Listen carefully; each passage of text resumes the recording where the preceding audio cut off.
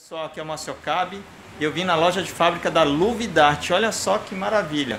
Loja de fábrica da Luvidart, que é uma empresa de vidros, tem uma quantidade incrível. E eu vim especialmente para comprar essa moldura aqui, que essa moldura é um sucesso aqui para fazer os origamis. Então é isso aí, pessoal. Até mais.